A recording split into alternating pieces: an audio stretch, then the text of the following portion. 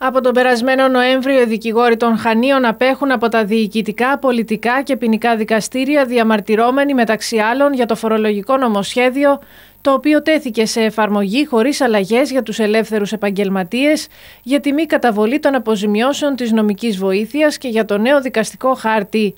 Χτες στη Γενική του Συνέλευση αποφάσισαν την αναστολή των κινητοποιήσεών τους και από σήμερα τα δικαστήρια λειτουργούν κανονικά, με εκατοντάδες υποθέσεις να έχουν πάρει αναβολή το προηγούμενο διάστημα λόγω της αποχής τους.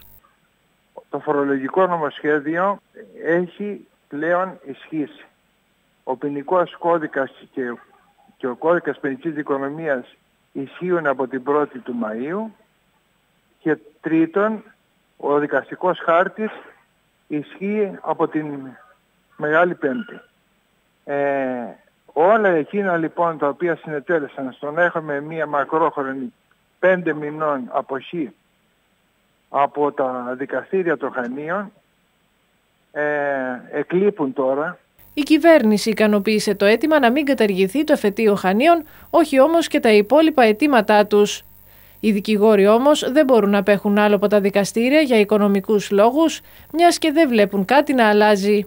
Για ένα νόμο ο οποίος ισχύει δεν μπορούμε να συνεχίσουμε μία αποχή μέχρι να έρθει η όποια κυβέρνηση να τον ακυρώσει, να τον τροποποιήσει, να τον καταργήσει. Αλλά δεν μπορούμε να απεργούμε συνεχώς και αδιαλείπτως διότι υπάρχει και θέμα του πώς θα ζήσουν οι δικηγόροι οι οποίοι είναι οικογενειάρχες με παιδιά και οι οποίοι θα πρέπει να βρουν έναν τρόπο να ζήσουν. Και όταν είναι κλειστά τα δικαστήρια υπάρχει πρόβλημα.